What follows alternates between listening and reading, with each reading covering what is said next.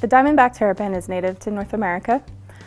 They are named for the diamond pattern on their top shell or their carapace.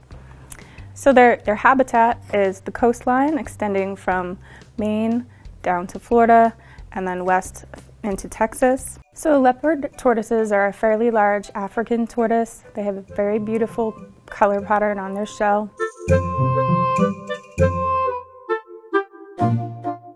So long-necked turtles can also be referred to as eastern snake-necked turtles. These are native to Australia. They belong to a group of turtles called side-necked turtles, and the thing that makes these species unique.